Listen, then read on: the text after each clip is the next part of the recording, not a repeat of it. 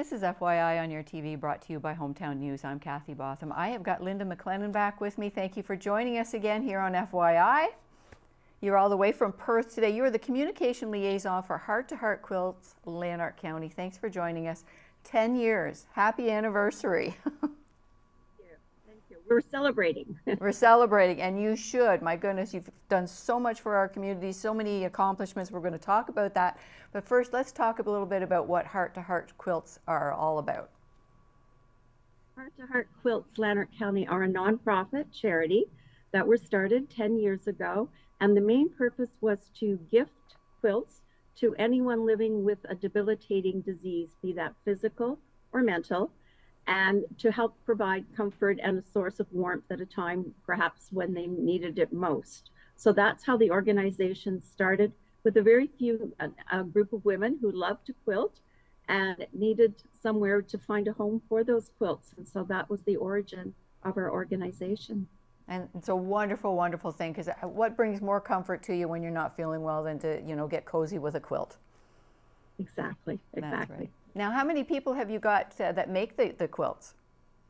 Well, our numbers vary, but over the years, I would say we have been approximately 30 to 35 ladies who quilt.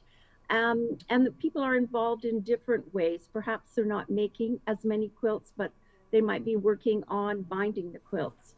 Or in the past, there have been people who do ironing, which is a is a essential part of quilting, or uh, we were very fortunate in 2014 to receive the long arm quilt and we had the money donated through TD Securities underwriting. So it's a machine that allows us to actually quilt as opposed to hand quilting. It is a machine quilting, and there are a number of ladies who are very talented and able to use that. So everyone brings skills in a different area, and they all come together. And uh, lately, we've had some new projects that we're very proud of.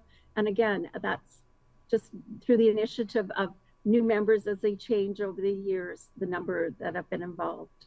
So now do you have a location you all meet at or does everybody have their own thing to do at their own home and then you come together? How does that work? Most people do the quilting and do the, the making of the quilt at their own home. We have a fabric room. We're located at St. Paul's United Church here in Perth on Gore Street upstairs. And um, we have we're very fortunate to have a very large space there to hold the actual long arm quilting machine to store our fabric. And I should say that when you join our organization, the fabric, everything is supplied to you. So many, many quilters, I mean, have their own stash, but that is another bonus. The fabric is there. We just want your creativity to go ahead and make that quilt. So the quilts are done, are finished, I would say, at, at our location in Perth. And there's quality control. They're inspected to make sure that they meet a certain standard. And then they are stored there in the space that we have at St. Paul's in Perth. And I think perhaps that's why we've returned our open house to St. Paul's in the sanctuary. It's such a large venue downstairs, um, accessible, very accessible from one of the entrances and the warmth and comfort to spread out as many quilts as possible in the sanctuary for our open house. Absolutely, and you need the space for quilts, that's for sure. I'm so glad you, you mentioned that ironing is important when you sew because I'm a sewer as well, and oh my goodness, you can't do it without an iron. you can't. No, definitely. No. Now you've been doing this for 10 years. Now let, tell us some of the numbers of how many quilts you've actually donated in the 10 years. We have we have made approximately a thousand. We're pushing to get to that thousand. We're 900 and something. So I think by May 6th, our 10th anniversary, we will reach that level. And we have gifted um, almost that number as well. So we keep a storage at our at our location. So when the requests come in, we can go and see if it matches and get your quilt back. Our major fundraiser is um, through the Smiths Falls Hospital Auxiliary, and we make quilts for every newborn that is born in that site.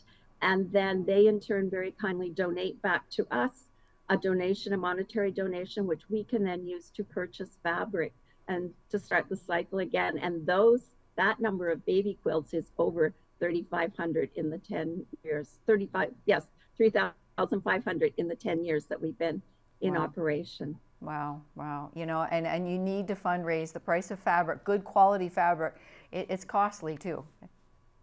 It is, and we're very fortunate to get many, many donations from community members, people cleaning out their stash or whatever. And we use every bit that we can. Our quilts are always 100% cotton. So that is one of our, our musts. It must be cotton fabric. If it's not, we try to donate to another organization who can use that material for something in their own. Excellent, doing. excellent. Now I saw that your your Hearts to Hearts quilts went to Lombardy School and donated some quilts there as well too They recently. did, they did. One of the new uh, initiatives, as I said, our, our main mandate when we started out was anyone living with debilitating diseases. And as a result, I would say almost of COVID, the schools began to, we began to see a need in the schools. And so we reached out to the Upper Canada District School Board, and they in turn gave us the names of several students throughout the county, throughout their board district, that would benefit uh, from from a quilt, just the comfort of a quilt, of the security, something that the warmth, um, and that was a fun one to do because we requested from those students what were their likes, and so there were quilts with cars and and dogs and horses and action figures, and if at all possible, we had any of that fabric or could piece together something that would meet that theme, we would do that. So that was a fun one, and and the need there was all the way from elementary school into the high school, the secondary school. There were children, students who benefit from those quilts. Absolutely, you know, and they benefit from the quilt. And uh, again, I just I, I would love to see children learn more about sewing and and the you know just the, the, the respect that comes from making such a lovely item, but uh, to be able to do it yourself too, like to, to maybe gather some interest and maybe I'd like to make a quilt. Start them young. That's a good idea. That's a good idea to bring that back into the school system. And the, the children, I think, recognize, I think many of us think of quilts for an older generation, but they recognize the source of, of warmth and, and both uh, internally and externally that those quilts bring, and also that they don't have to be perhaps a more dated your grandma's quilt, but something that's very modern and would appeal to them. And that's something in our request form uh, for every quilt that we try to meet, if at all possible, when people are requesting quilts. If you have a favorite color, or if you're thinking of someone who's a golfer or or a sport, if we have fabric that can meet that need, we try to incorporate that. So when the quilt is received, it is it is personalized in a certain way. Very nice, very nice. Now you have an open house on May the We do. is it May the sixth? May the sixth. Can you talk about that? May the 6th, the Saturday, yes, at St. Paul's in the sanctuary. It's May the 6th, 1 to 4. So the quilts will be distributed throughout the pews in the sanctuary. And you will, as you said, you need to spread a quilt out it's, it, to see its true beauty. So we're hoping as many people as possible will come. Our members will be there to chat with you and tell us about our organization. Uh, we have recognition of many people who have sponsored us throughout the years, so that recognition will be there as well. So we're hoping as many as possible. It's a it's a walk-through event, and just come and enjoy and and visit with our our members at St. Paul's. And it's a free event. It's a free event. Yes, I mean donations are always welcome, but absolutely it is a free event. It's it's giving back to our community to show what our members can do, and perhaps it might you know you might think of someone. It is to request a quilt is no cost, and to receive a quilt no cost. So again, it, uh, we're hoping it will draw people who appreciate what we are able to do for the community. Absolutely. And I mean, there's so many people out there that might be interested in sewing and becoming a member. There's going to be people Absolutely. interested in knowing about you and how to get a quilt. There's just so- much to learn on this day of your open house. and all that information will be there and our members will be there to to talk about what we can give back And you have a Facebook page and a website as well. we do we do have a facebook page uh, not sorry not a facebook page no, No. we have a web page at www.hhqlc.ca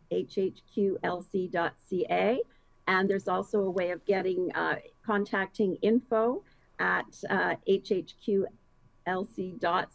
which is a personal you know email if you want to chat about something. Um, yes absolutely. But the open house probably is the best way. There will be information cards there with all these details. If you want to take something home and think about it and then get in, in contact with us after at a later date. Excellent. And, and again, the day of the open house is May 6th, and it's at St. Paul's Church in Perth.